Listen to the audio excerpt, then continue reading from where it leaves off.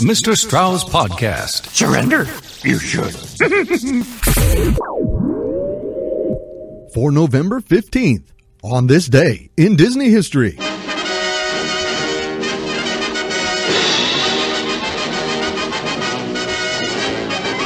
On this day in 1932, the Disney art class meets for the first time with Don Graham of the Chouinard School of Art, lecturing at Disney's old sound studio on Hyperion Avenue in Los Angeles, California.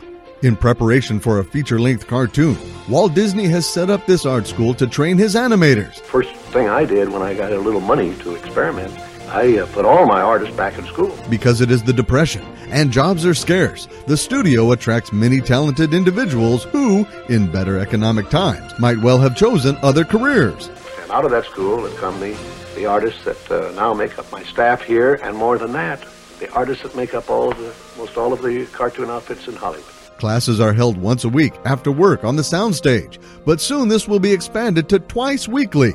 The selection of Graham will prove to be one of the most fortuitous moves Walt Disney will ever make.